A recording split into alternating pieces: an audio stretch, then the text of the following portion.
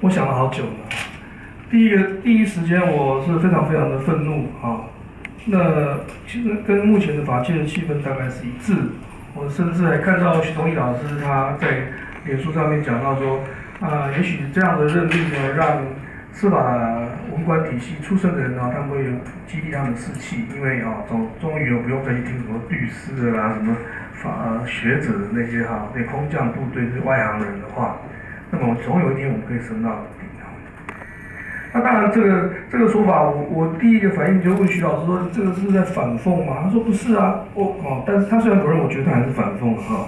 那因为我，但是我当时担心的是，因为我是留日的哈，日本在一九七零年代之前，他们的最高法院长官，也就是我们的司法院院长哈，曾经有好多是律师或者是那个学者，但是，一九七零年代末期之后呢，一直到现在，几乎啊，全部都是法官出身。那已经固定下来啊，就是说他们的司法院一定都是专业法官。那这有什么好处？当然很多，有一个最大的坏处就是说，因为他们的法官都可以是成审，就是有这违宪审查权。但是这些是吧这呃专业的听话的法官哈，当了最高法院院长以后呢，他们就严禁下面的人哦去做，尤其是跟宪法第九条啊，跟那个呃这个放弃战争的这个有关的宪法审判。所以让那整个国家变得很保守。那其实当时我第一个反应就是那是很危险的事情。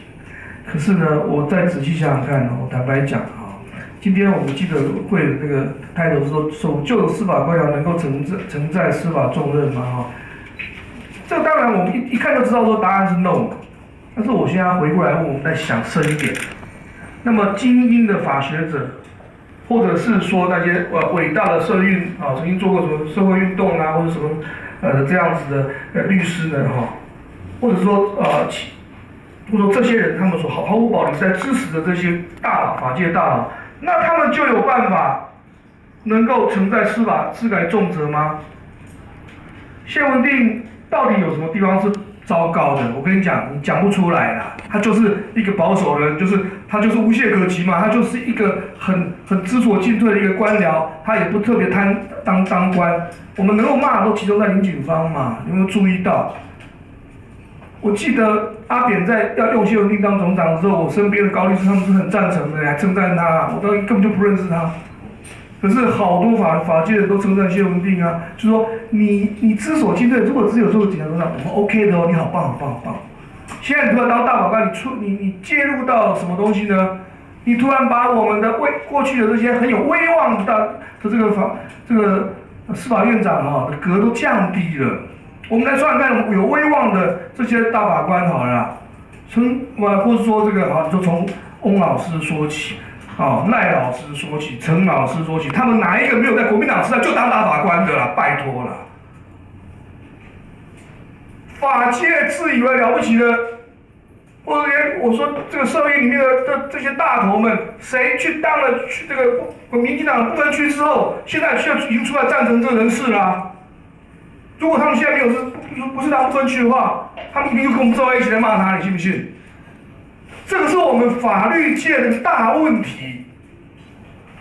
我告诉你，谢跟林哦，他们就是因为他们不够大咖，他们他们很小咖，所以这些人很振奋，所以他们就完全符合蔡英文用人的标准，就是要当文官。蔡英文就是喜欢文官，他本身就是那样的系统，他就是喜欢文官。但是蔡英文必须要，所以我对他这个任命，我后来想很久，我没有意见，随便你。可是呢，这要告诉你说，那么。所有你既然哈，现在从零权以下，你全部用的都是这种文官呐。你而且还用文官，绝大部分你有没有注意到？他们一大部分都是赖马马英九时代的文官呐，他都不在乎了。因为你想深一点，你这些所谓绿营的人自以为说啊，等于很很啊很照顾你的这些大佬们，他去照顾，照顾自己门生，那个是那是公器私用哎，那也没有什么了不起啊。你多写四十本书又怎么样？你能够实践吗？你到现在没有实践成功啊。那对于这个一般的专业的文官、司法文官来说，哈，我干嘛要我我的这个前辈呢？能够写出很棒的小的这这个这些这些这个呃学术作品，他又不是学者，但是他资历完整，意思就是等于那样子的东西，对吧？我们的学术界也有很多是很资历完整的人呐，真的有很了不起吗？也没有啦。而且也是有这种掌控，大家甚至说，如果你想听八卦，你想看陈忠谋是什么死角的？他是历来唯一一个可能不是，就最近不是台湾法律系出身的人。你再想想看，蔡英文这边刚才永成兄他说，我们法界很多大佬都，哦，几乎所有人都都不赞成。那我要问一下，蔡英文这边没有法界大佬？蔡英文身边法界大佬一定是绿营的啊？那这些人是谁？讲出来啊！是他们不要的呢，他们还玩了一个很很不要脸的手法，说，哎，是本来是要推荐许宗力老师，啊，但是因为推荐他可能会违宪，所有人都知道那哪里有什么违宪的问题。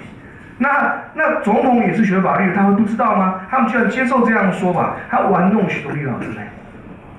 谁有资格玩弄他？一定是比许老师辈分更高的人。少来了啦！这个事情比我们想象中更严重。不是谢林问题，谢林他们有问题，他的问题，他们最大好处是听话。你看林启芳多么听话，昨天还在跟苏永基在一起，今天就跟苏蔡英文站在一起了。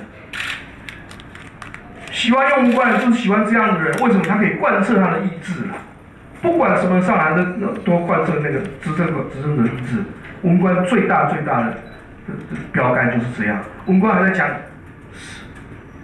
什么道义啊？哦，讲自己的信念，就不要当文官了。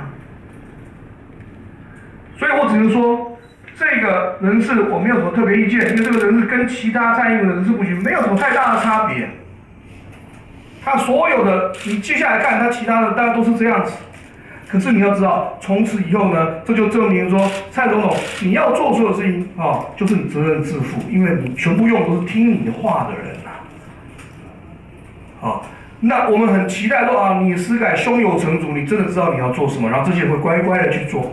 哪怕困难啊，再困难你也使命必达。